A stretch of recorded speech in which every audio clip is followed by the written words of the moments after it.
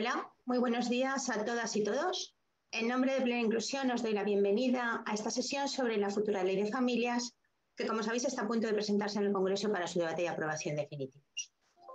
Para nosotros, para Plena Inclusión, es fundamental estar presente en cualquier foro en el que se debatan temas que afecten a las familias. No hay que olvidar que somos un movimiento asociativo promovido por familias y que estas son un pilar fundamental y uno de los objetivos prioritarios de nuestra misión. En estos momentos, además, nos encontramos con una situación paradójica dentro de nuestro movimiento asociativo. Durante muchísimos años, las familias se han centrado en reivindicar los derechos de sus familiares con discapacidad intelectual y el desarrollo y han estado dejando en segundo plano la de sus propios derechos. Esto ha hecho que, a pesar de los grandes avances que hemos conseguido en inclusión, visibilización y reconocimiento de los derechos de las personas con discapacidad intelectual y el desarrollo, la situación de las familias no haya mejorado de forma paralela y creemos, vemos que existe un estancamiento en los apoyos y prestaciones que reciben. En 2022 se hizo una encuesta por parte de Plena Inclusión sobre la conciliación familiar que fue contestada casi por 1.900 familiares y de la que se obtuvieron datos muy llamativos. Por ejemplo, que el 83% de las personas que contestaron eran mujeres. Esto nos da una idea de la brecha de género que existe,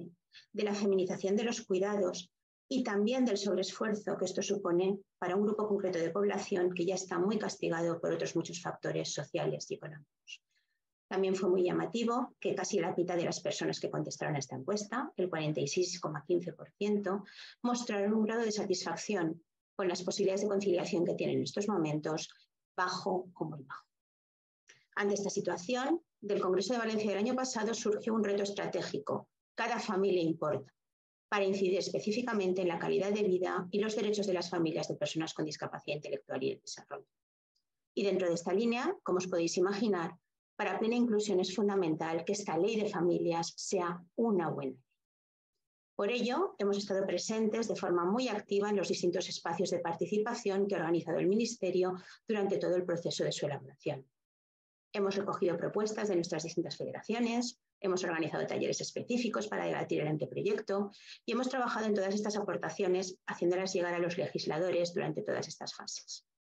También hemos preparado, eh, ya lo tenemos, un documento de propuestas de enmienda para cuando comience su inminente y definitiva tramitación Plena Inclusión valora positivamente esta ley porque aborda y aporta algunas soluciones a cuestiones claves para las familias, cuestiones que desde Plena Inclusión llevamos defendiendo mucho tiempo el derecho a la conciliación, el reconocimiento de la diversidad de familias que existen, la protección de derechos de niños y adolescentes. Hemos organizado esta sesión con el objetivo de dar a conocer el anteproyecto de ley, así como la posición y las aportaciones que ha hecho Plena Inclusión y recoger sugerencias y dudas que puedan tener las familias. Contamos para ello con Félix Barajas, subdirector general de Diversidad Familiar del Ministerio de Derechos Sociales y Agenda 2030, uno de los mayores conocedores de esta ley quien nos va a plantear las claves de la misma. También estará con nosotros Natalia Pérez, técnica del área jurídica de plena inclusión, que junto con Beatriz Vega de la Red de Apoyo a Familias ha coordinado este proceso participativo dentro de la Confederación y nos irá contando cómo se ha llevado a cabo. Y por último, está con nosotros Rafael Armesto, de FEBAS, miembro de la Red de Juristas de Plena Inclusión, que presentará nuestras principales propuestas y aportaciones al anteproyecto de ley. A todos ellos, muchísimas gracias por estar aquí hoy con nosotros. Al final de estas intervenciones abriremos un debate, podéis dejar vuestras preguntas en el chat y las iremos planteando.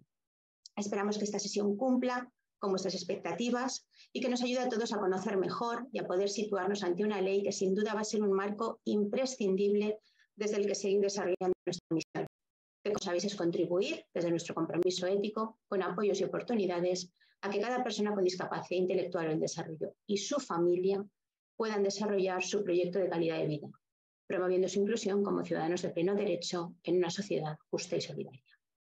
Muchas gracias de nuevo a todas y todos por estar hoy aquí y sin más vamos a comenzar ya con la intervención de don Félix Barajas, subdirector general de Diversidad Familiar del Ministerio de Derechos Sociales y Agenda 2030. Gracias, cuando quieras. Sí, muy bien. Eh, muchas gracias, eh, Marian. Muchas gracias a Plena Inclusión por la invitación a, este, a este seminario donde vamos a analizar eh, cuál es el impacto de, esta nueva ley de familias, cuáles son sus objetivos, eh, los aspectos claves y, bueno, y la relación que tiene también, por supuesto, para las familias de personas con discapacidad. Eh, en estos mismos momentos, el Consejo de Ministros está debatiendo el, anteproyecto de ley para convertirlo en proyecto de ley. Es decir, no puede ser más oportuna la, elección de la fecha, aunque ha sido, supongo que, fruto un poco pues, de, azar, pero bueno, ha coincidido con que hoy mismo eh, se está debatiendo eh, para culminar ya este proyecto de ley convertirlo próximamente en ley eh, antes de que acabe esta, esta legislatura. quería compartir primero cuáles son, digamos, las motivaciones que nos han llevado a, poner en marcha esta iniciativa. Cuáles son las, los objetivos, el mm, contenido básico de la norma y después también finalmente eh, los principales impactos que la misma tiene en el ámbito de las personas con discapacidad. En cuanto a los antecedentes, digamos, qué es lo que nos ha movido a, avanzar en esta ley, hay desde luego datos evidentes que muestran que la realidad social eh, bueno, muestra que las modalidades de convivencia familiar se han ido diversificando con los años han ido ganando reconocimiento legal y legitimidad social otros modelos no basados en el matrimonio formado por un hombre y una mujer, debido, por supuesto, esas transformaciones sociales en las que las familias españolas han experimentado cambios en su tamaño y en su composición. Otros factores, como el avance del feminismo, se hablaba ahora en la, introducción de la brecha de género, que tiene mucho que ver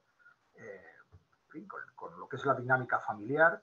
los derechos LGTBI, la creciente demanda de cuidados, que tiene que ver también con el progresivo envejecimiento de la población, son cambios todos ellos significativos que ponen de manifiesto nuevas demandas que el legislador eh, pues debe dar respuesta. Eh, tenemos que recordar también un mandato en la Constitución, el artículo 9.2, que habla del principio de igualdad material. Es decir, un mandato al legislador para impulsar medidas que puedan corregir las desigualdades y garantizar que los miembros de todas las familias queden en una situación de igualdad en el acceso a derechos sociales, económicos o de cualquier otra índole. La diversidad de familias, desde luego, genera una enorme riqueza para nuestro país y, es un deber de las administraciones públicas evolucionar y garantizar su protección. No podemos ya hablar de familia en singular, sino que eh, ahora lo, más habitual y creo que lo más propio es hablar de familias en plural para recoger esa, esa dimensión de diversidad del hecho familiar. Eh, vemos eh, habitualmente familias formadas por parejas de hecho, familias formadas por una sola persona progenitora, mm, formadas por personas, como decía, de colectivos LGTBI, en la que uno o ambos miembros de la pareja tienen hijos o hijas de uniones anteriores, familias adoptivas, familias acogedoras, familias procedentes de otros estados, familias con personas en situación de discapacidad, es decir, hay mucha variedad de, diferentes eh, formas de convivencia y problemáticas específicas asociadas a determinadas composiciones familiares. Las políticas públicas deben garantizar que todas las familias son iguales en derechos y que cada una de ellas, atendiendo a su especificidad, recibe también el apoyo y la protección social que necesita.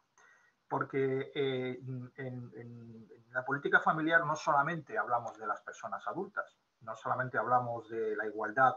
eh, de, unas, los hombres de las mujeres, de las personas adultas, de formar el tipo de familia que quieran, sino también fundamentalmente de la protección de los derechos de niños, niñas y adolescentes que deben ver garantizados y reconocidos sus derechos con independencia del tipo de familia en la que eh, vivan o en la que eh, crezcan y,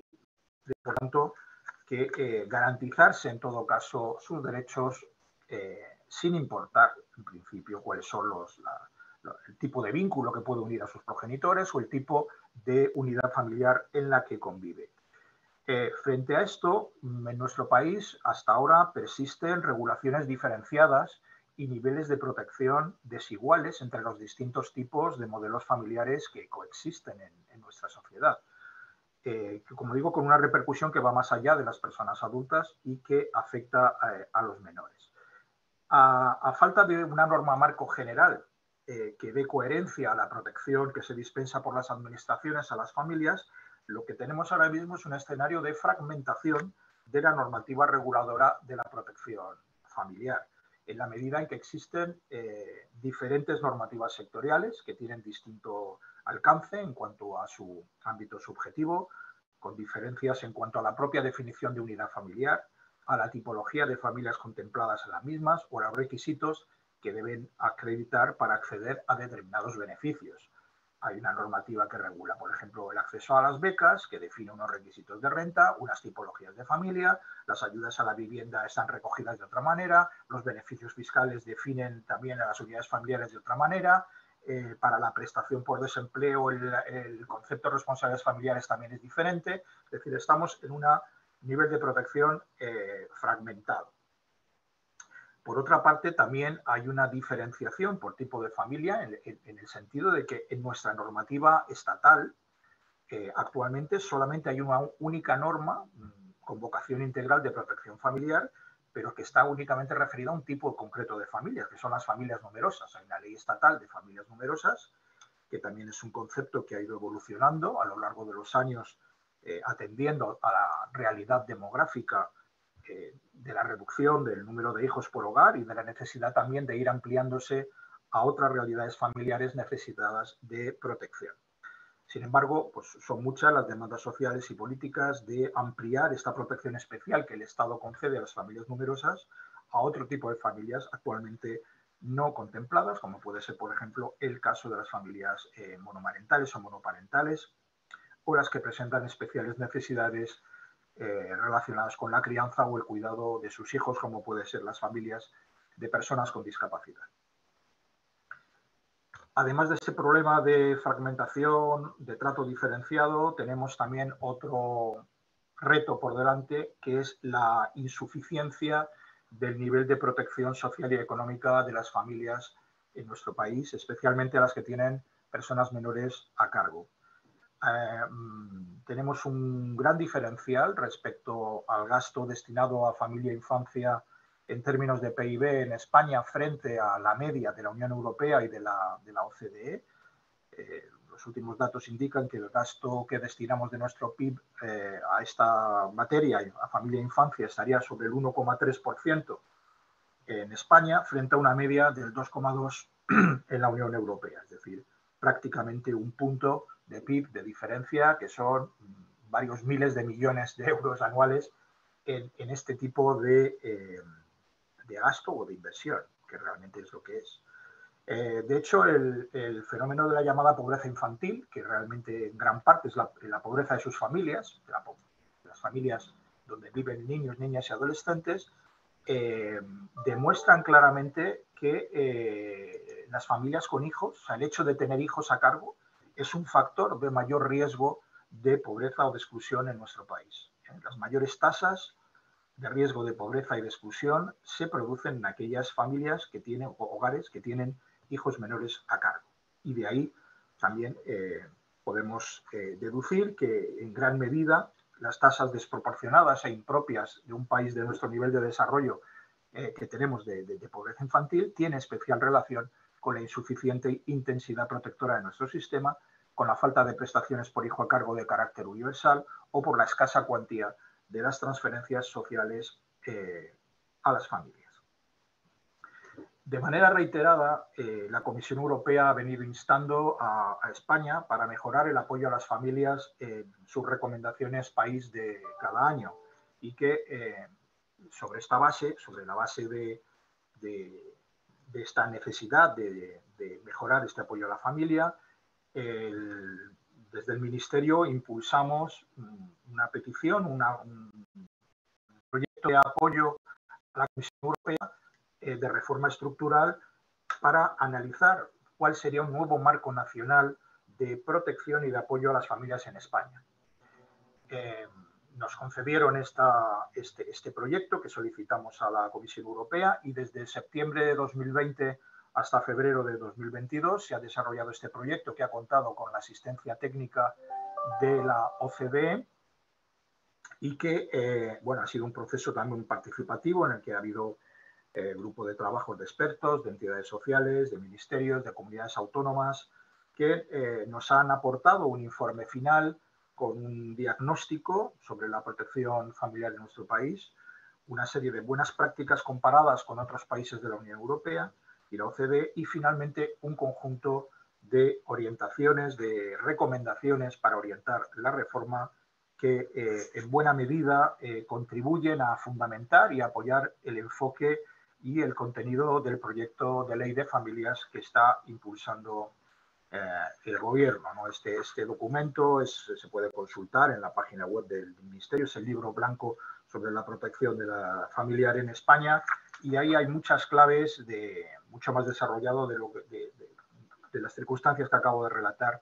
sobre las deficiencias o, los retos, los desafíos que tenemos para mejorar la protección a las familias eh, en nuestro país.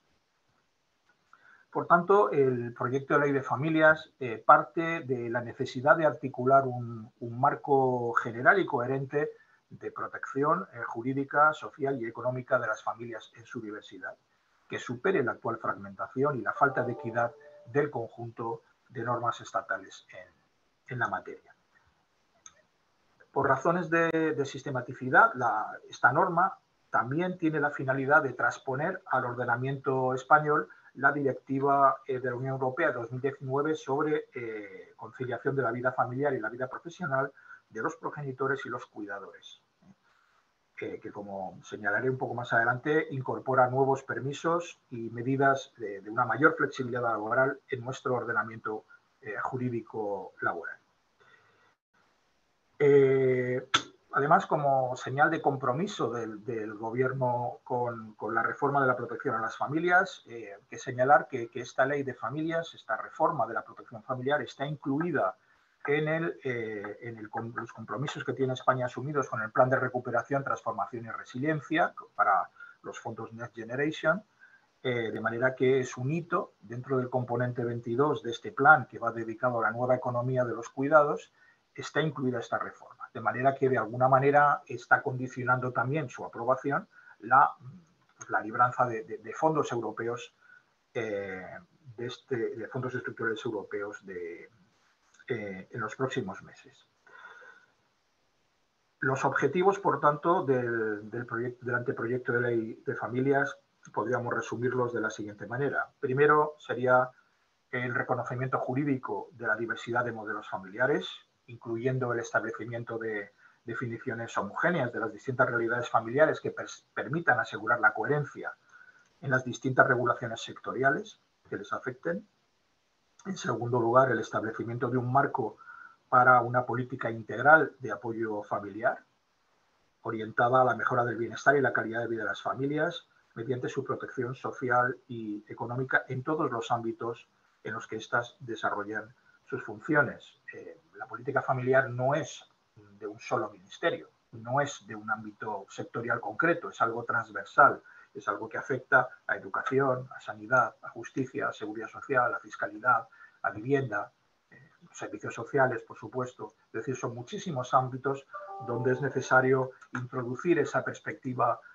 integral y transversal para redundar en, en facilitar el entorno de la vida familiar para que cada ciudadano pueda elegir en la medida de lo posible o por lo menos tener atendidas sus necesidades vinculadas a la dimensión familiar de cada uno de, nosotros.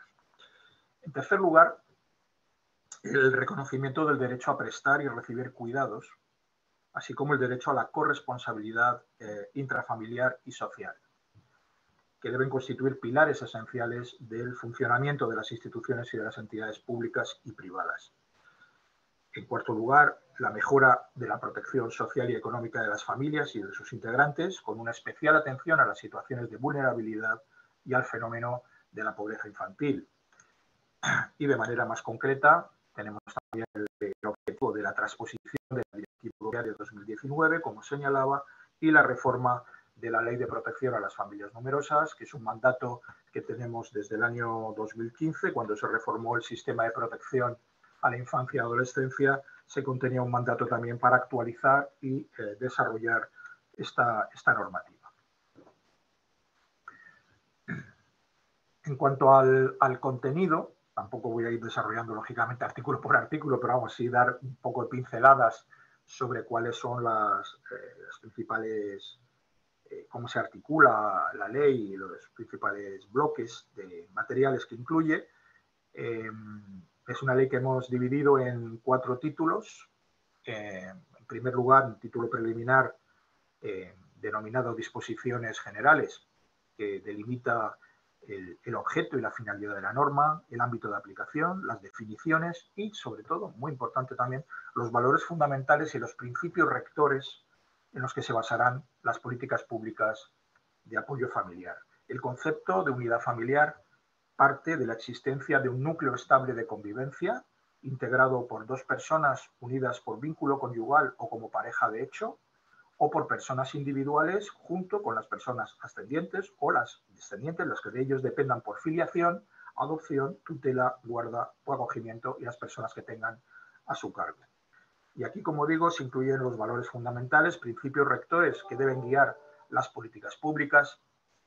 como son la perspectiva de género, el interés superior de los menores, la universalidad, la promoción y protección de los derechos humanos, la accesibilidad universal, etc. Es decir, define el marco común de referencia para todas las políticas que afecten a las familias eh, en nuestro país, eh, en principio mm, dentro del ámbito de lo que es la Administración General del Estado, porque una de las características también de nuestro sistema es que eh, bueno, pues, somos un, Estado en el que la,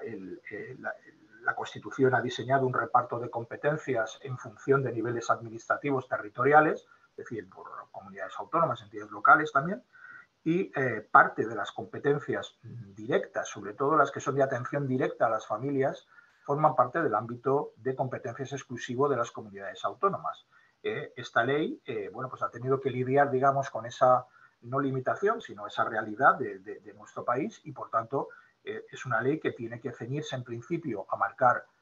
principios de igualdad para todos los ciudadanos en el Estado y definir medidas más concretas en el ámbito de las competencias propias de la Administración General del Estado. Hay muchas comunidades autónomas que han desarrollado también eh, bien leyes o bien planes específicos propios en materia de apoyo a las familias, digamos que, son complementarias o que completan el panorama de la protección familiar eh, en nuestro país. El, segundo título de la ley eh, se dedica a las medidas generales de apoyo a las familias, eh, estableciendo ahí la obligación por parte de las administraciones públicas de garantizar la igualdad de trato y de oportunidades en varios ámbitos. En la protección jurídica de las familias, eh, una de las novedades que tenemos es la, eh, la creciente equiparación entre las relaciones familiares basadas en el matrimonio y en la convivencia de hecho. Se reconoce también, digamos, esta, esta dimensión de, las parejas eh, no casadas, siempre y cuando haya alguna acreditación de esa situación para dotarla de efectos legales, bien sea en forma de registro o bien sea pues, a través de constitución en escritura pública, para que pueda garantizarse, digamos, por motivos de seguridad jurídica eh, el acceso a los derechos. Se incluye la previsión de crear un registro estatal de parejas de hecho que englobe los datos que tienen actualmente las comunidades autónomas y las corporaciones locales, que desde hace ya muchos años también cuentan con este tipo de, registros, garantizando que todos los descendientes tengan acceso y disfrute a todos los derechos y beneficios con independencia del estado civil de sus progenitores.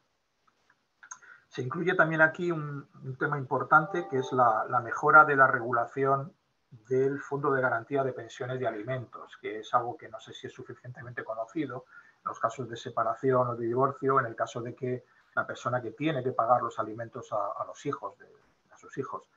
eh, si no lo hace, eh, que provoca muchas veces unas situaciones de precariedad económica grande a, las familias eh, y a los hijos en esas circunstancias, existe un mecanismo público por el cual se anticipa parcialmente estos, estas pensiones de alimentos y después le cobra eh, a, la persona que, está obligada a ellos. ¿no? este fondo de garantía de pensiones de alimentos a hijos e hijas, bueno, pues lo hemos, se retoca aquí de manera sustancial para mm, dotarle de mayor importe, de mayor eh, más flexibilidad en cuanto a, los requisitos de acceso y que la, protección dure eh, más tiempo. En cuanto a protección económica de las familias, hay un aspecto importante que se contiene en el, proyecto de ley, que es lo que llamamos la renta crianza, una extensión o una garantía de que eh, todas las familias con eh, hijos menores de tres años puedan recibir una prestación económica de importe de 100 euros eh, al mes. Em, la manera de articular esto, esta, esta garantía es a través de dos vías. Por una parte está la deducción del IRPF para, por maternidad para todas las madres que, que tienen hijos menores de tres años y que eh, bueno, pueden, eh, se ha flexibilizado los requisitos para poderla cobrar, cobrar de manera que eh, se ha aumentado digamos, el número de, mujeres, de madres que pueden percibir esta prestación y si no es así, el segundo mecanismo es el complemento de apoyo a la protección a la infancia del ingreso mínimo vital para aquellas familias que están en un umbral inferior de renta y que no, no, acceden a las deducciones fiscales por IRPF, pero tienen acceso por la otra vía. Eh, de esta manera, eh, si no la universalidad, sí prácticamente está, eh, estamos avanzando hacia unos porcentajes muy, muy cercanos ya de poder considerar que tenemos una protección de crianza general para todas las familias. En materia de, apoyo a la crianza y de cuidado también se contempla eh, el desarrollo de un, marco estatal de acompañamiento y apoyo a los primeros mil días de vida para garantizar un buen comienzo en la vida a todos los niños y niñas de nuestro país. Es una etapa fundamental eh, para su desarrollo, para el futuro, eh, desde el punto de vista biológico, desde el punto de vista de desarrollo físico, emocional y las trascendencias, la trascendencia que tiene después en el futuro en todo tipo de, aspectos eh, sanitarios, sociales, laborales futuros, las condiciones en las que se haya desarrollado esos mil primeros días de vida de los niños. Queremos reforzar ahí eh, y focalizar eh, unas políticas integrales en los diferentes ámbitos a través de una estrategia que, aprobaremos específicamente para ello. También se refuerzan las políticas de activación para el empleo, de manera que aquellas personas desempleadas que tienen responsabilidades familiares puedan también tener una priorización en este tipo de políticas activas y se garantizará progresivamente que todas las niñas y niños menores de tres años, cuyos adultos responsables así lo demanden, tengan disponibilidad de una plaza pública en centros de educación infantil de primer ciclo, que también es una de las asignaturas pendientes que tenemos. Tenemos prácticamente ya alcanzada la universalidad a partir de, tres años de edad, pero en el 03 todavía nos queda dar un empujón para garantizar también la accesibilidad eh, y unos servicios de calidad de atención y educación infantil en, nuestro país. Se trata también de los, eh, de los servicios sociales de apoyo a las familias, hay aspectos relacionados con, la salud y el bienestar, la promoción de estilos de vida saludables y, de manera específica, también se establece el derecho de las personas menores de edad y sus familias a tener acceso universal a una atención temprana al desarrollo infantil, gratuita y de calidad, eh, y no limitada a la primera infancia, sino con una perspectiva de ciclo vital. Y se habla también de eh, programas de promoción de la salud mental. En este apartado también hay medidas de, de familia, de relaciones con las viviendas, con la educación, con la cultura, con el ocio. No, quiero tampoco eh, abrumaros con muchísimos detalles, de nuevas tecnologías. Eh, y después llegamos a, otro título de la ley, que es la que regula las medidas de apoyo a situaciones familiares específicas. O sea, frente a este, todo este primer apartado de la ley son medidas generales para todas las familias, pero después hay un tratamiento especializado para atender situaciones de necesidades singulares, situaciones familiares que requieren, por tanto, un régimen de protección específica. Ahí hablamos de las familias en situación de vulnerabilidad con personas menores a cargo, una vulnerabilidad entendida en dos sentidos, una vulnerabilidad económica, que está vinculada a los criterios, digamos, más vinculados de, renta, de patrimonio, que se definen en el ingreso mínimo vital, y una vulnerabilidad social también, que, puede mm, pasar en, otro tipo de familias, no vinculadas estrictamente a razones económicas, pero que les hace también merecedoras de, de un apoyo específico. Hablamos aquí también de las familias numerosas como un colectivo con necesidades singulares que, pues, derivadas de la necesidad de, afrontar los costes y las dificultades para la crianza de un número superior de hijos e hijas que, la media a través de una normativa específica. Hay se recoge por primera vez a nivel estatal una protección específica a las familias monoparentales. En nuestro país es uno de los aspectos más novedosos y sustanciales de la ley, pues hasta el momento no, se había cometido. Había algunas comunidades autónomas que contaban con, con, una normativa específica, pero no contábamos con un único cuerpo normativo de protección social de este colectivo a nivel estatal. Se establece así el reconocimiento de un título con, con validez estatal para todas las familias monomarentales o monoparentales, con una serie de, supuestos definidos y de otros supuestos equiparados, pese a que pueda haber un segundo progenitor, en determinadas circunstancias entendemos que son merecedoras de esa, de esa protección, como sucede en los casos en que tengan atribuida la guardia, y la guardia y custodia exclusiva, la condición de víctima de violencia de género o una separación forzada por ingreso en prisión o tratamiento hospitalario de duración de al menos de un año. Eh, y se equipara, esto también es novedoso, eh, a las familias monoparentales con dos hijos a familia numerosa, con lo cual van a tener acceso a toda la acción protectora específica que hasta ahora estaba garantizada solamente para las familias eh, numerosas. En relación con las familias con personas con, discapacidad o en situación de dependencia, hay una primera parte, digamos, más declarativa, pero que es muy importante, donde se reconoce y se garantiza el, ejercicio efectivo del derecho a formar una familia de las personas con discapacidad y también a formar parte de una familia. Eh, por lo que las administraciones públicas deben poner en marcha las medidas oportunas para promover la igualdad de trato y de oportunidades de estas personas, ofreciéndoles los medios y los apoyos necesarios que les permitan ejercer esos derechos. Se recoge el derecho a acceder a servicios y medidas de apoyo social o, en su caso, económicos específicos para paliar la sobrecarga y el sobrecoste que supone la atención a sus necesidades, de forma que en el área laboral, por ejemplo, de protección social, se garantice el derecho a la adaptación del trabajo y a la conciliación eh, corresponsable. En el área sociosanitaria también hay previsiones sobre medidas específicas. Em, también para apoyar a las personas cuidadoras, medidas de respiro muy importantes, apoyo psicológico, atención integral destinadas a las familias cuidadoras de personas con grandes necesidades de apoyo.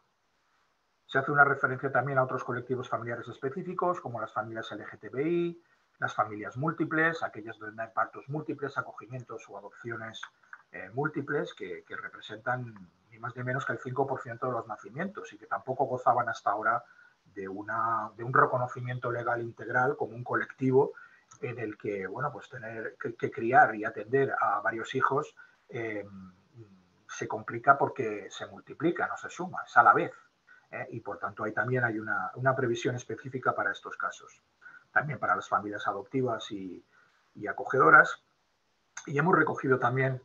eh, una realidad familiar que, está bastante invisibilizada, pero realmente es muy frecuente, que son las familias reconstituidas, es decir, aquellas situaciones familiares donde se aportan hijos de uniones anteriores eh, a, la unidad familiar. Y bueno, pues eh, hasta ahora no gozaban tampoco de una protección específica que atendiera a, la naturaleza de las relaciones que se establece entre las personas menores de edad y, las nuevas parejas de sus progenitores. Es decir, eh, la pareja de tu padre o de tu madre, que no es tu padre o tu madre, sin embargo, sí ejerce un rol parental eh, y sí que tiene que ir asociada a algún tipo de, pues, de, reconocimiento y de obligaciones también. O sea, hay que regular un poco cuál es el alcance de estas relaciones eh, en, este tipo de unidades familiares. Hablamos de las familias del medio rural, que también tienen una problemática eh, importante, y las familias inmigrantes, transnacionales, interculturales, etc. la ley se completa con un último título se refiere a la gobernanza de las políticas familiares, que es una cosa muy importante. Eh, es más interna, digamos, de la administración, es menos vistosa de cara a,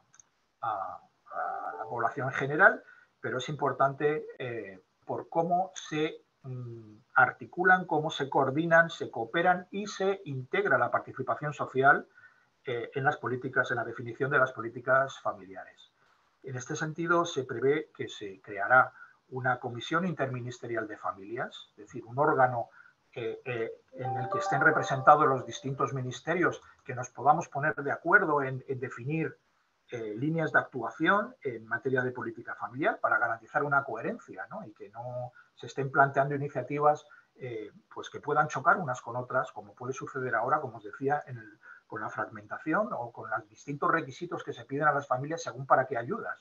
Que para el bono social se pide una cosa, que para las becas se pide otro, es decir, que haya, digamos, una cierta coherencia en las medidas que se impulsen.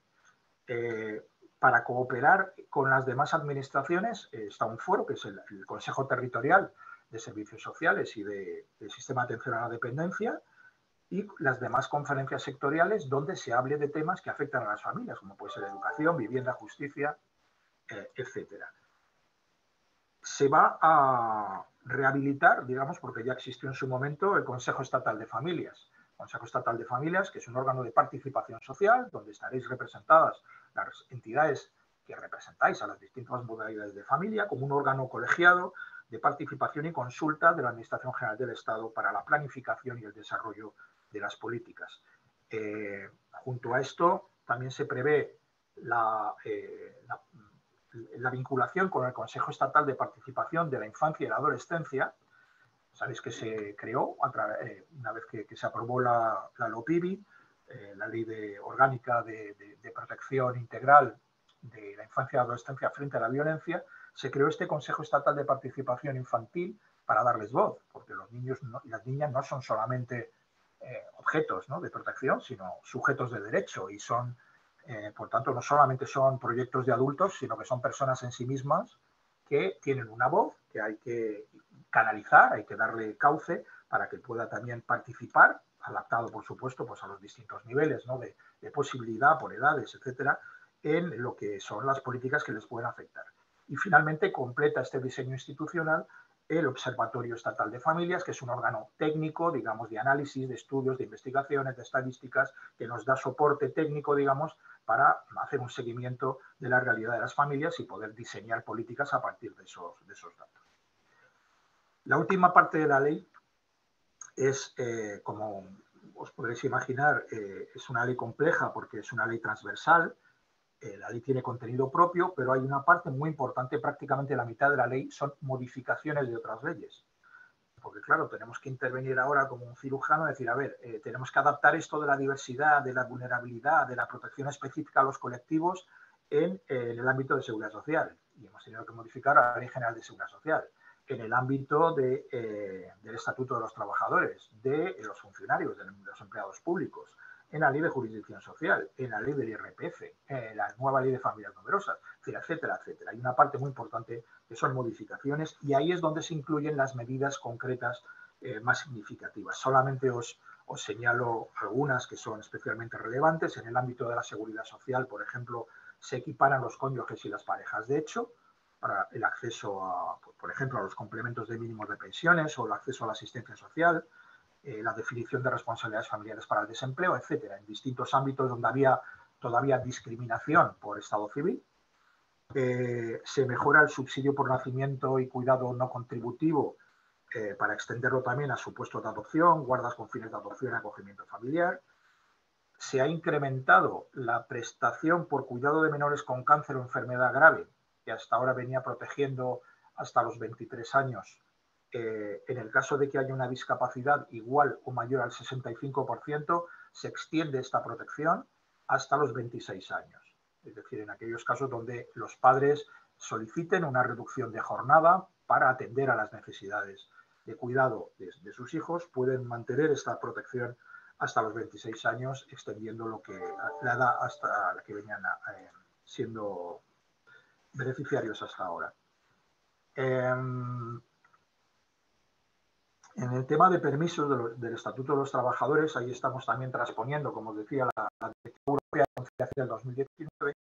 Eh, hay novedades importantes. ¿no? Eh, hay un permiso de cinco días al año por eh, accidente, al año no, perdón, cinco días por cada suceso, por accidente, hospitalización, intervención o cuidado domiciliario de familiar hasta segundo grado, de grado o de personas convivientes en el mismo eh, domicilio. Eh, se establece también un nuevo permiso retribuido de hasta eh, cuatro días al año, equivalente en horas a cuatro días al año, por ausencias de fuerza mayor familiar por motivos urgentes que requieran la atención inmediata en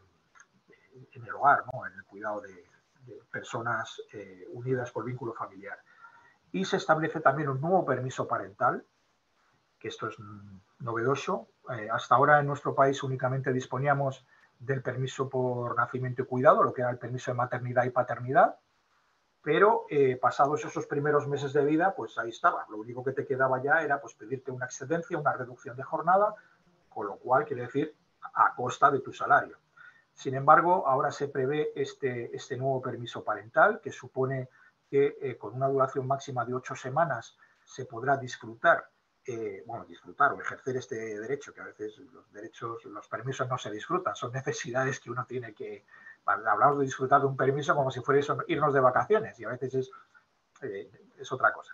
El ejercicio de este derecho está, bueno, pues tendrá una duración máxima de ocho semanas que se podrá disfrutar de manera continua o discontinua a tiempo completo o a tiempo parcial y es hasta que el menor cumpla ocho años de edad, de manera que se puede para cubrir, por ejemplo, pues periodos de necesidades de conciliación, que de colegio, que no sé cuántos, que tal, o sea, que, necesites eh, acudir a este tipo de permiso. Eh, es un derecho individual intransferible, es decir, es el padre y la madre. ¿eh? Es decir, que estamos hablando de derechos intransferibles. Lo mismo ocurre paralelamente con, con los empleados públicos ya he comentado el tema del IRPF y de eh, finalmente solamente hablaros ya de,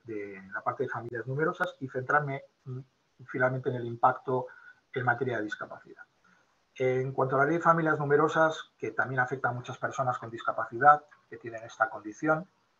eh, se plantea su eh, conversión en una ley de protección más amplia. Es una ley que va a proteger a las familias con mayores necesidades de apoyo a la crianza, es un paraguas, digamos, más grande, donde hay, digamos, una ley general para las familias, que es la ley de familias, y una ley especial, digamos, que es esta, para las familias con mayores necesidades de apoyo a la crianza, que incluye, además de las estrictamente familias numerosas, otras realidades que hasta ahora no estaban cubiertas, como son, por ejemplo, las familias monoparentales con dos hijos, o mm, se mejora también en el caso de las familias eh, con personas con, con discapacidad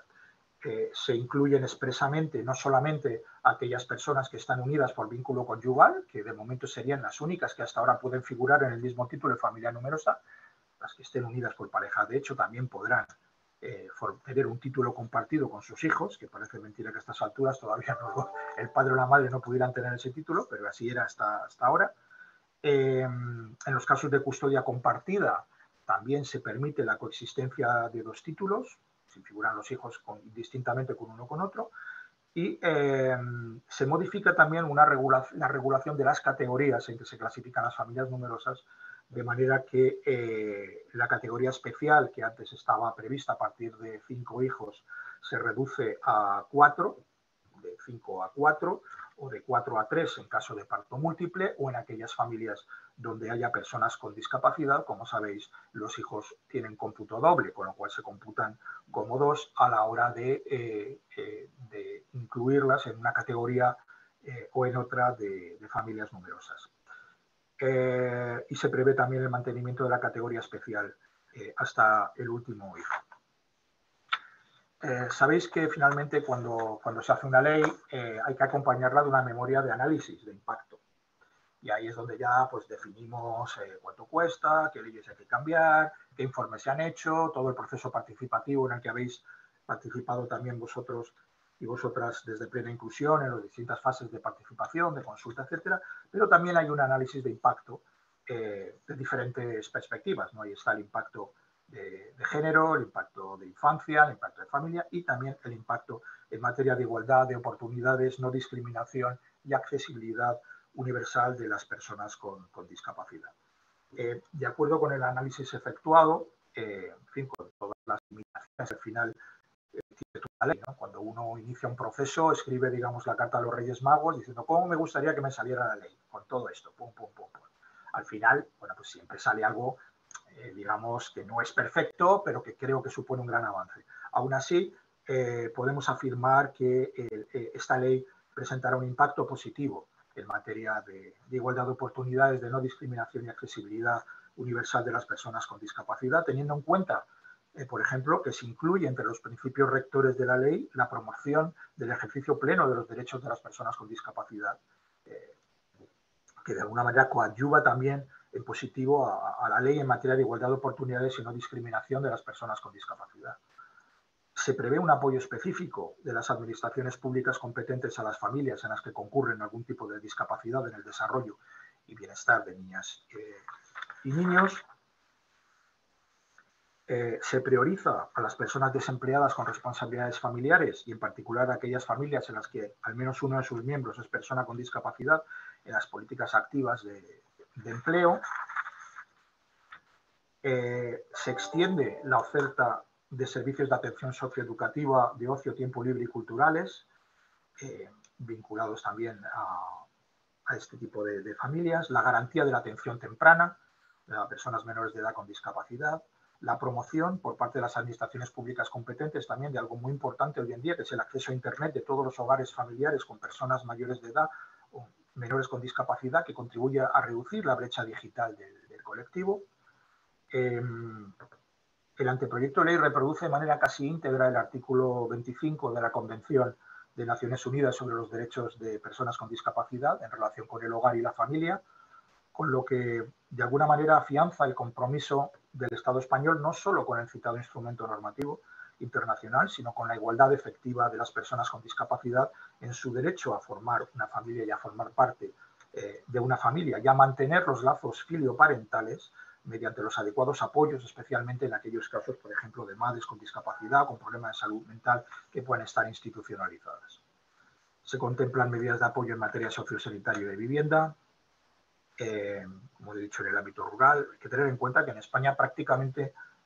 un millón de personas con discapacidad residen en el medio rural, que es un tercio del, total, tiene una problemática eh, muy específica que, hay que atender. Y finalmente, lo relativo a la, reforma de los permisos, eh, del Estatuto de los Trabajadores,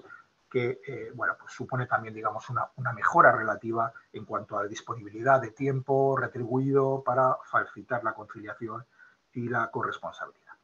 bueno, no quiero ya eh, aburriros más con todo este relato detallado, pero sí que quería compartir con vosotras, con vosotros, pues un poco todo lo que es el, diseño general de cómo se ha fraguado la ley, cómo está constituida y todavía nos queda por delante la tramitación parlamentaria que esperamos que sea fructífera y que pueda mejorar algunos aspectos, bueno, pues que, que han quedado a lo mejor, bueno, pues que con un margen de mejora que podemos entender ahora que en este proceso puede completarse de aquí a, nada, porque la legislatura acaba y tenemos eh, la urgencia de poder hacerlo y además de cumplir con el objetivo que España se ha fijado con la Unión Europea en el plan de recuperación. Es decir, lo tenemos ahí que hacer sí o sí si queremos cobrar los fondos. O sea que es, es un aliciente bastante importante. Muchísimas gracias.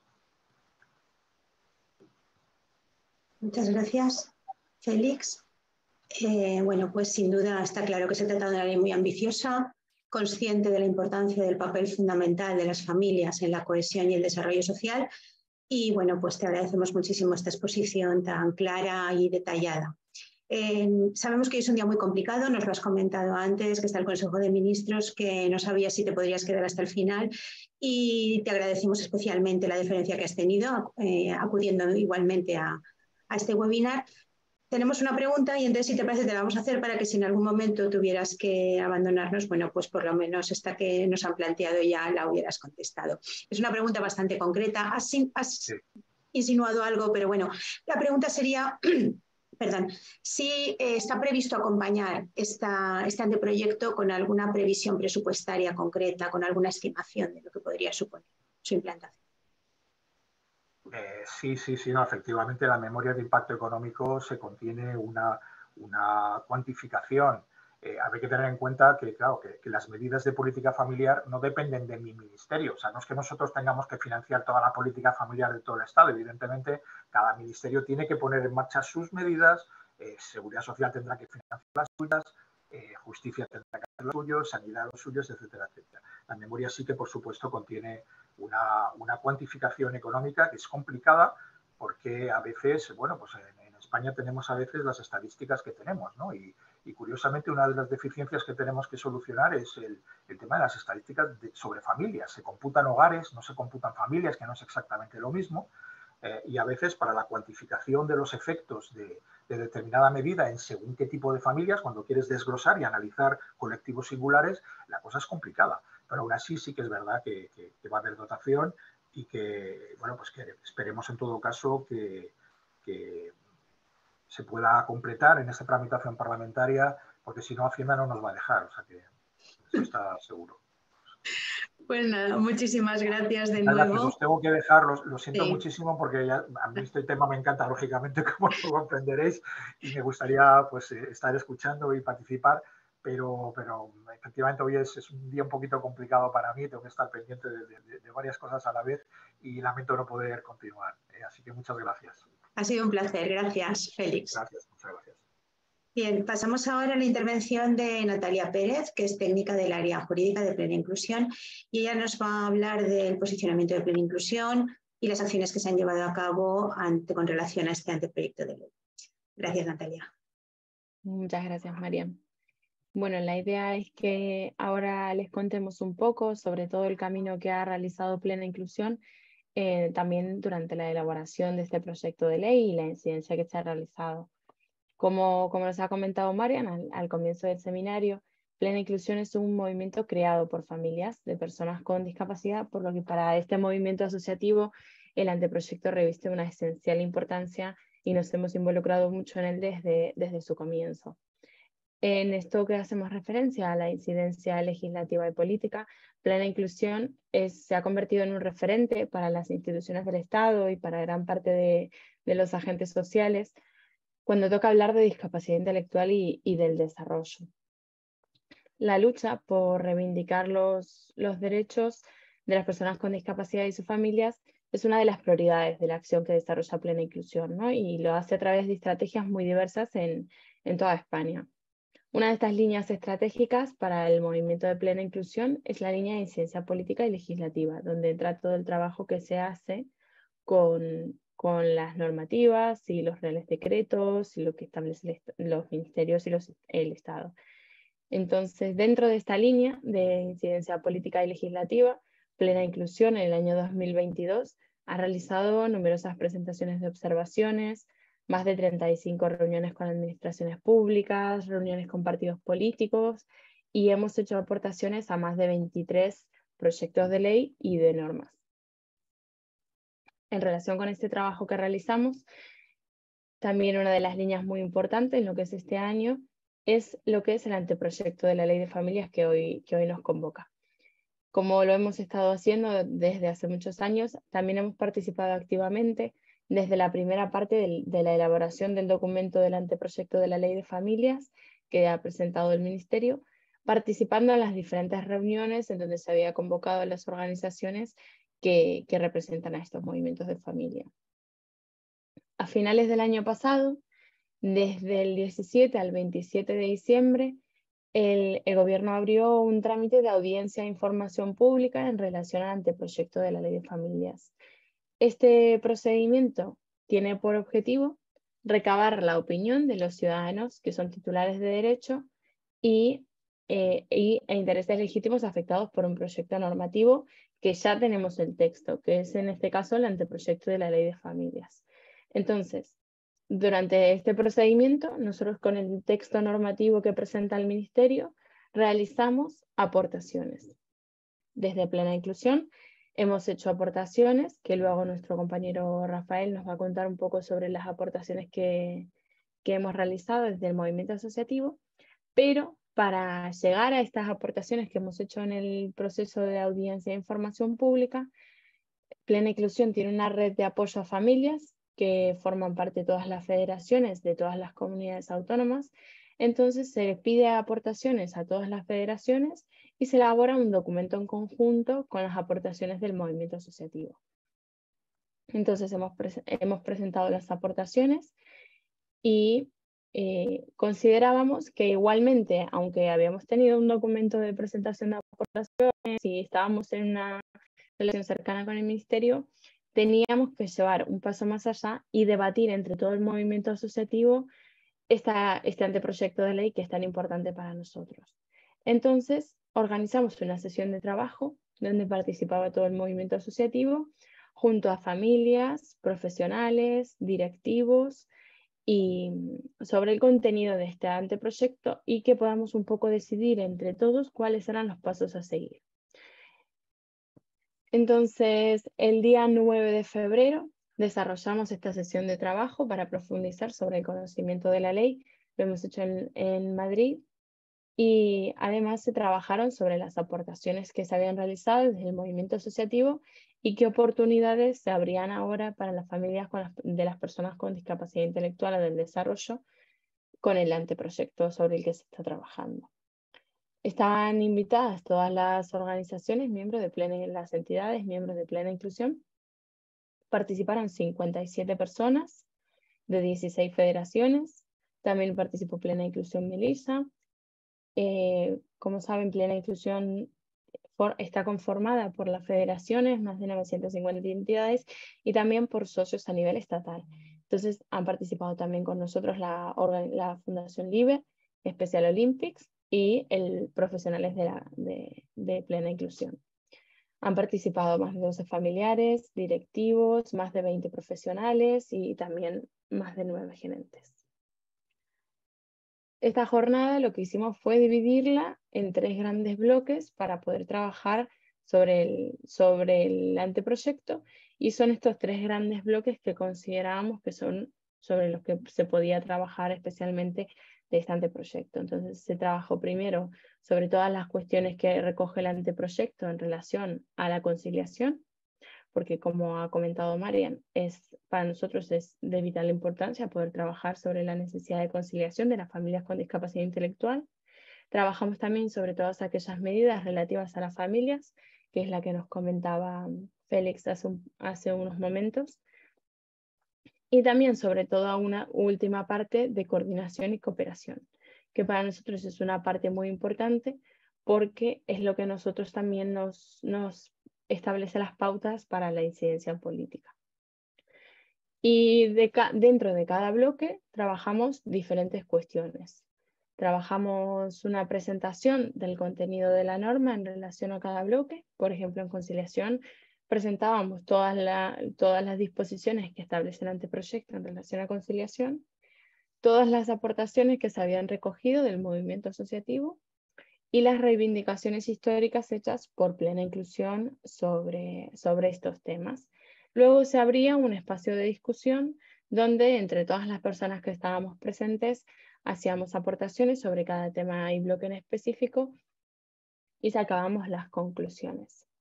con todos los resultados que hemos eh, obtenido en, la jornada de trabajo que hicimos este día 9 de febrero, creamos una comisión de seguimiento y en esta comisión de seguimiento que está conformada por profesionales, está conformada también por, por miembros directivos de la organización, establecimos los pasos a seguir. Como bien comentaba Félix, aparentemente en estos días se aprobará el proyecto de ley en el Consejo de Ministros y el siguiente paso es que se presente en lo que es el Congreso de los Diputados. Cuando el anteproyecto se presenta en el Congreso de los Diputados, se abre lo que se llama la oportunidad de hacer enmiendas. ¿Qué son estas enmiendas? Es, es, una nueva oportunidad que la organización tiene de hacer aportaciones a la norma.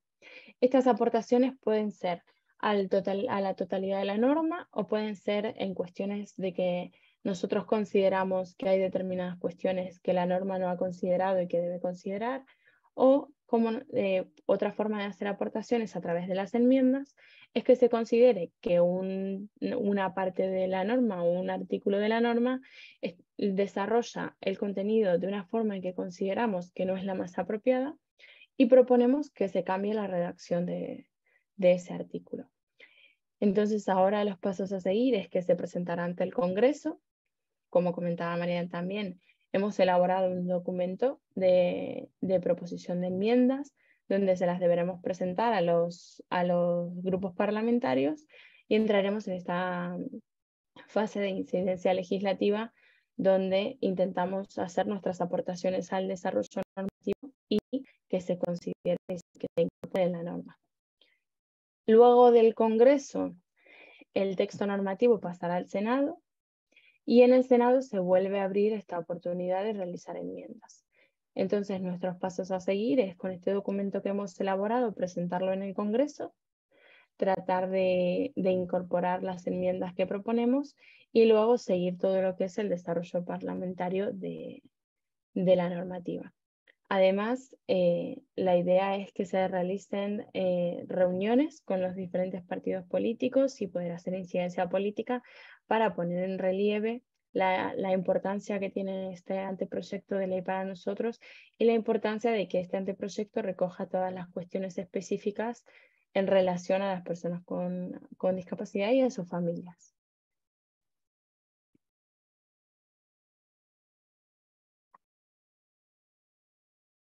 Muchísimas gracias, Natalia. Eh, muy interesante y además, como, como tú bien, muy, muy bien señalabas, este es un tema que nos ha ocupado y nos ha preocupado y en el que estamos, yo creo muy satisfechos de los resultados. Resultados que nos va a presentar ahora Rafael Armesto, que como hemos dicho antes es miembro de la red de juristas de plena inclusión y que nos va a exponer cuáles han sido eh, las principales propuestas y aportaciones que plena inclusión hace a, este anteproyecto. Cuando quieras, Rafael. Gracias. Eh, muchas gracias, Marian. Bueno, buenos días a todos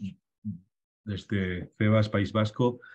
Gracias por invitarme a participar. Realmente aquí los verdaderos protagonistas son la comisión y son Bea y Natalia, o sea que yo me limito a contaros un poco el, resultado de estos trabajos.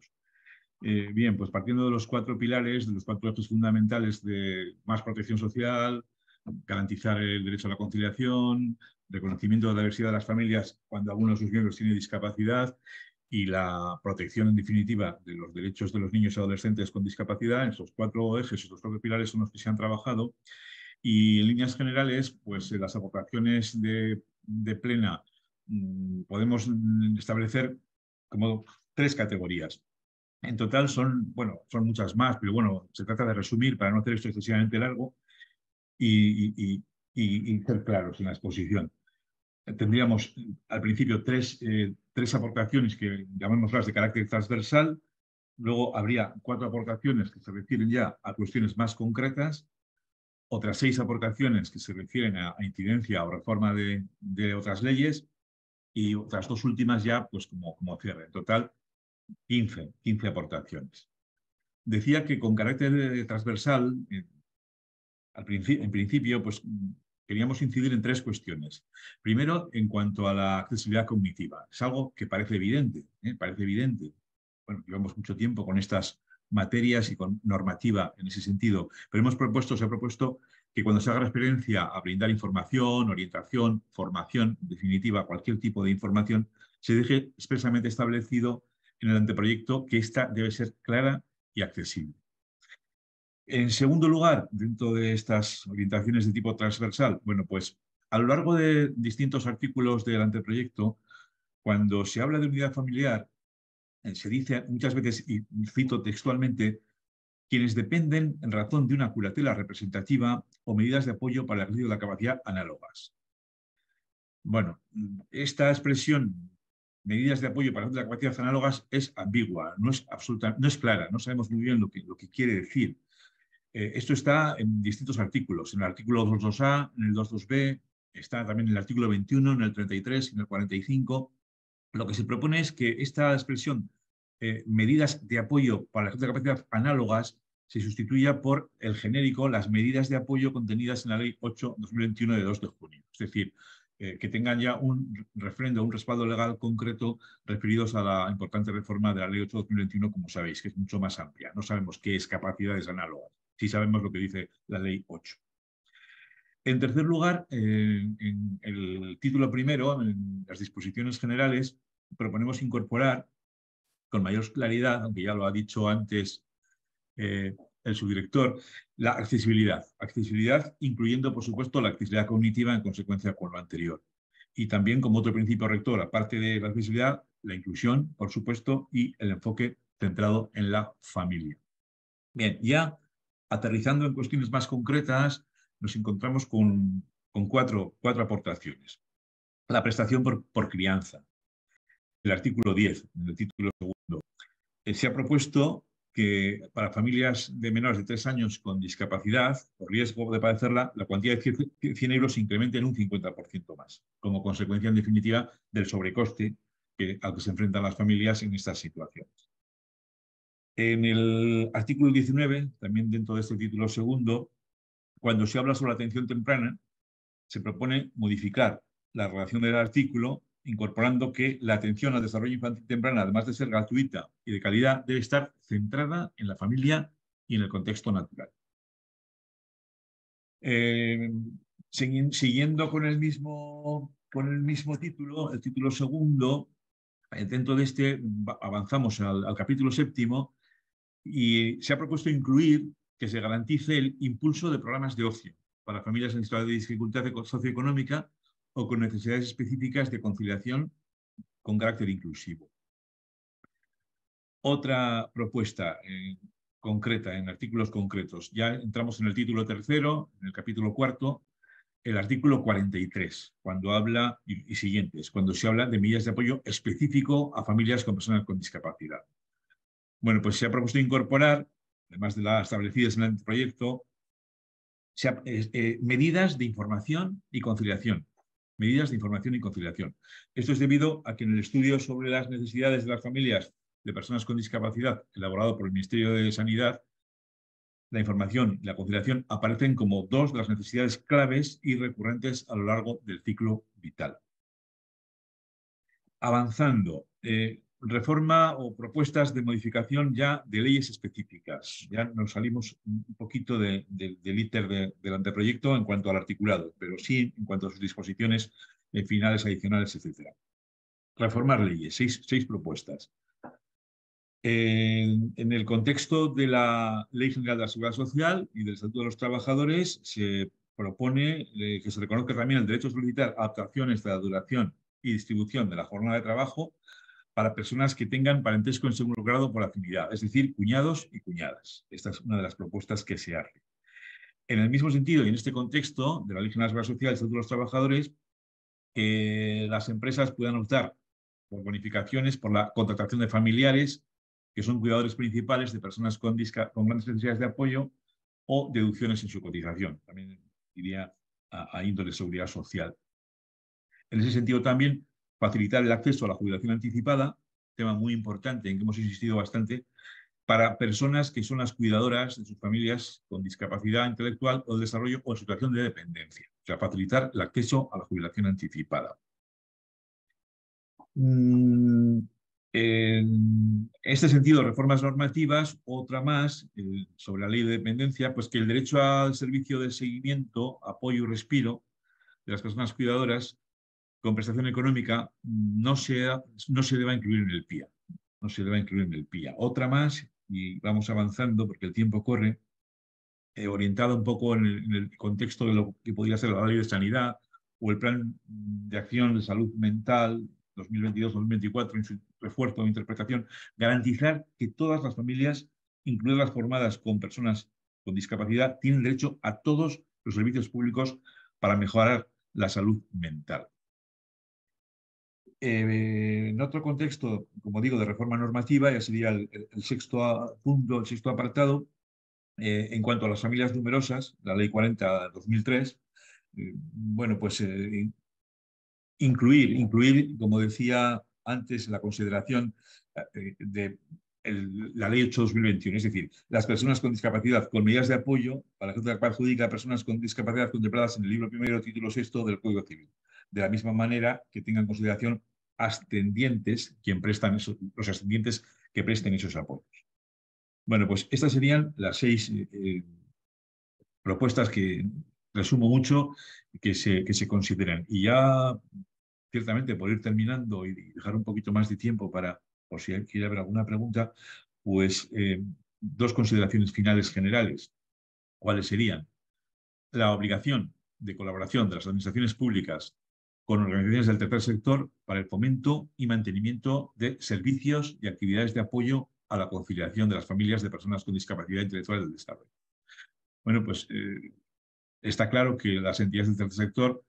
en otros sectores recientemente eh, aprobados, dentro incluso de la ley 8, pues la colaboración con las entidades de justicia, pone en valor la, figura de las entidades del sector, ¿no? Y sí que queremos que se ponga en valor, por supuesto, en esta materia con carácter, con carácter formal. Y bueno, por terminar ya, mm, insistiendo en las ideas que ya se han manifestado anteriormente, pues que la norma tiene que ir acompañada de una previsión presupuestaria, como no, para su, para su implantación y cómo esta financiación pues, se va a descentralizar en las diferentes comunidades autónomas. Eh, bueno, pues como decía Natalia, fase de enmiendas, Congreso, Senado, a ver en qué manera estas estas 15 medidas que os he expuesto y algunas otras más y las que resulten en definitiva del, posterior diálogo y debate se pueden, se pueden ir implementando. Y, bueno, yo aquí me, paro ya. Muchas gracias. Muchísimas gracias, Rafael,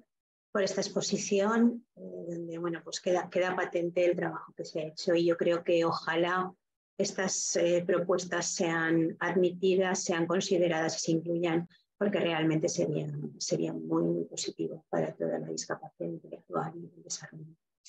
Gracias a los dos panelistas que están en estos momentos. Félix ya nos ha tenido que dejar. Pasamos ahora al turno de debate y, la, y las preguntas. La primera sería para Rafael. Tenemos una pregunta en el chat que dice que, si, que pregunta si el permiso parental que se contempla en esta ley se podría disfrutar aunque el convenio que les regula no lo contemple.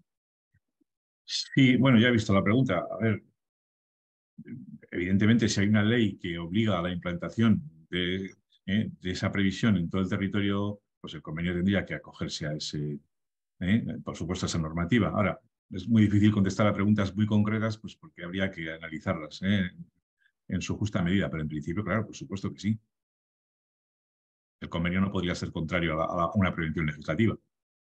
Entonces, ¿habría que modificar luego los convenios cuando esta ley se pusiera en marcha?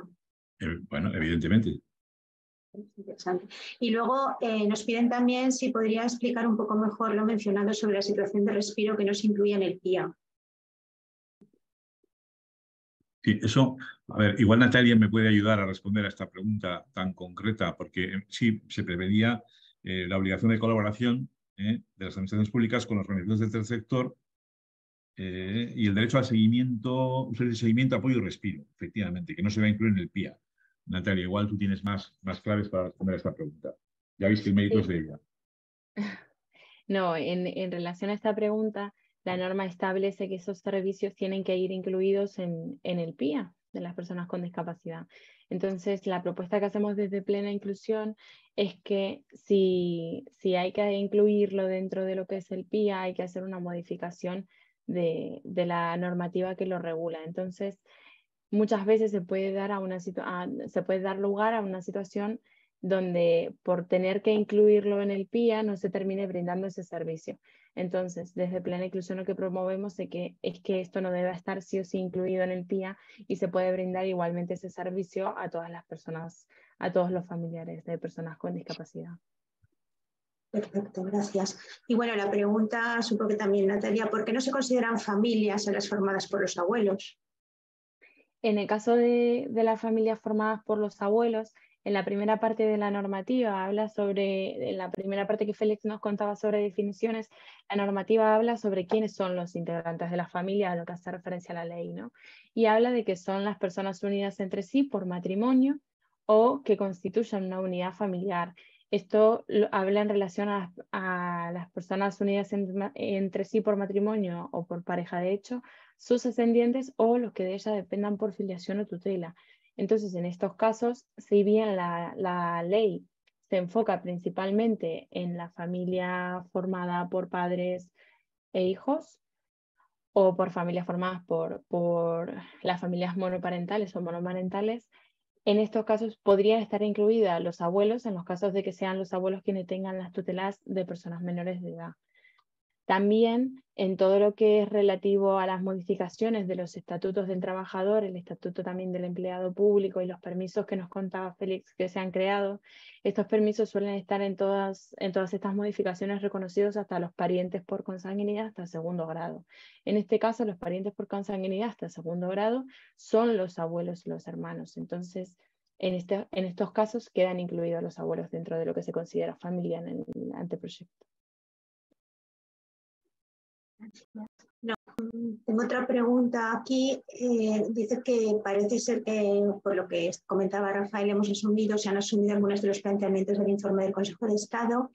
y comenta que en ese, con ese informe se consideran otras más y si se van a, se van a promover.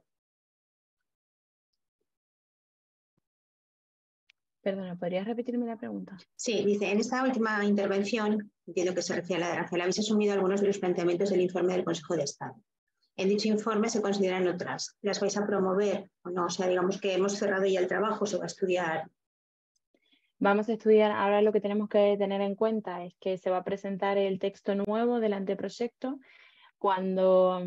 cuando el gobierno pide este, este plazo de audiencia de información pública en el que hemos participado, se nos da un texto del anteproyecto y nosotros hacemos aportaciones sobre ese texto, pero al finalizar este procedimiento, el gobierno tiene la oportunidad de incorporar las aportaciones que se han hecho durante este procedimiento y presentar ante el Congreso un texto nuevo, alternativo, eh, que, que, incorpore lo que se ha aportado desde las organizaciones. Entonces, tendremos que ver eh, qué, nos, qué se aprueba hoy en el Consejo de Ministros y con el documento que se apruebe realizaremos las aportaciones, las que ya hemos cerrado y las que valoremos con el nuevo texto. Y tenemos también ahora dos preguntas ya bastante, bastante concretas una de ellas es sobre si existe alguna petición específica de mayor intensidad de ayudas para familias con hijos con graves problemas de conductas. El, el anteproyecto no habla específicamente de personas con graves problemas de conducta. Lo que sí hace referencia en varios momentos del anteproyecto es personas con grandes necesidades de apoyo. Pero, estarían incluidas ahí, ¿no?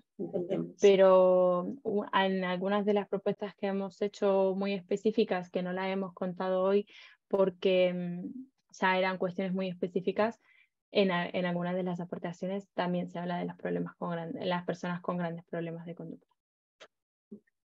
Bueno, pues eh, hay una, una, pregunta que dice, bueno, el hecho de que aquí se haya preguntado sobre que haya asignación presupuestaria quiere decir que todavía no está contemplada, ¿no? Es una pregunta interesante. El anteproyecto, bueno, como nos comentaba Félix, está acompañado por una memoria económica, pero el texto de la norma no hace referencia que se acompañe por ninguna, ninguna referencia presupuestaria, ninguna previsión presupuestaria. Una de las propuestas que hacemos desde Plena Inclusión es que, que se incorpore al texto del proyecto de ley una disposición al final de la norma que establezca que se, en todos los presupuestos del, generales del Estado se incorpore una previsión presupuestaria para el desarrollo de esta norma. Actualmente no está, veremos veremos si se incorpora en el texto que se apruebe hoy y si no lo, proponemos en, el Congreso. Bueno, pues yo creo que bueno, nos quedan dos preguntas, una por el chat. Hay un poco de miedo, parece, a que esta ley se transforme en un obstáculo burocrático, o sea, que las familias con esta ley tengan más problemas, eh, que no se simplifique la forma de acceder a estas ayudas. ¿Qué pensáis sobre esto? Hombre, en definitiva, las leyes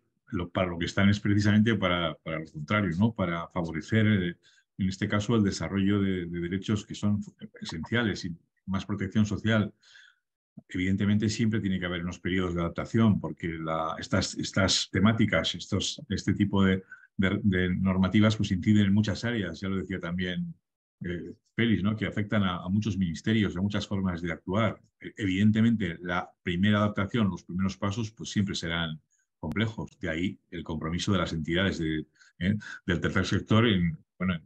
en, controlar estos procesos, en el estudio, en la orientación y en, el consejo. Pero en principio no, no debería de ser así. Debería ser precisamente lo contrario. No sé, Natalia, tú que lo vives como, con mucha más intensidad.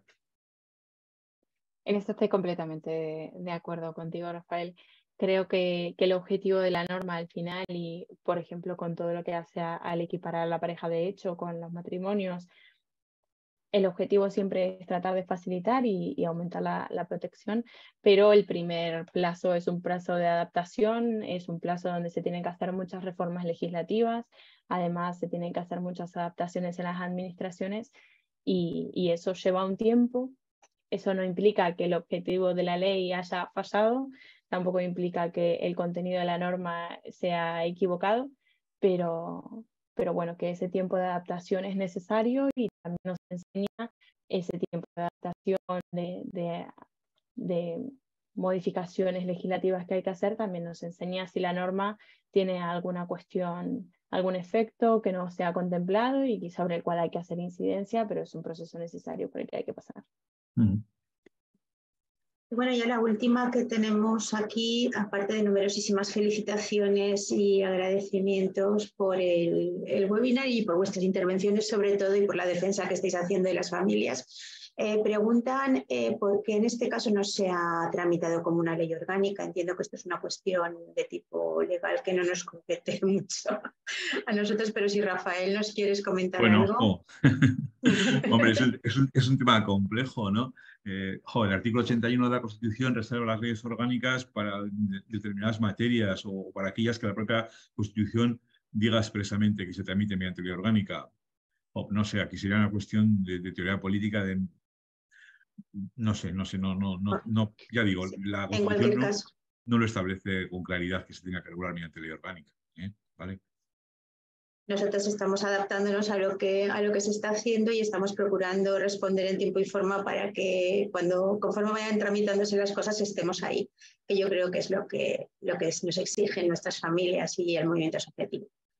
Bien, pues eh, insisto, muchísimos agradecimientos en el chat, pero no tenemos más preguntas, así que entiendo que hemos llegado al final de esta interesantísima sesión. Os quiero agradecer de nuevo vuestras intervenciones. Eh, nosotros en plena inclusión consideramos que nuestra incidencia política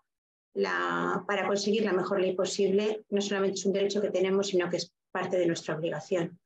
Y por tanto os agradecemos a, vosotros y a todos los que habéis participado y a todos los que habéis colaborado con vuestras preguntas y con vuestra asistencia que esto sea posible.